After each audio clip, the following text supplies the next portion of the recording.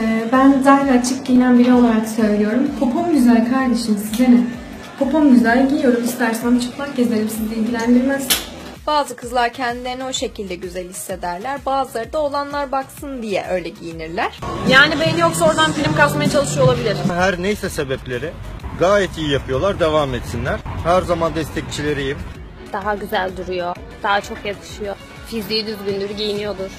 Size ne kardeşim? Elin görmediği mal batsın kızım. Olmuyor, tutmuyor. Tutanı da var ama zaya tutuyor tutarsa. Biz kızlar için giyiniyoruz. Kızlar hava atmak için. Daptar pantolon giydiğinde, silip maya giydiğinde, döşünü çirkin bir şekilde açtığında biz sana laf ediyor muyuz kardeşim? Seksi görünmek için eyvallah. Herkes giy mesela be ya. Böyle bir şey olamaz ya. Ben görmek zorunda mıyım senin o iğrenç basenlerini? Dikkat çekmek için. Başka bir açıklaması yok. Niye belki çekmek istemiyor? Neyi çekmek istiyorsun? Dikkat mi çekmek istemişim? Çekmek mi istemiş?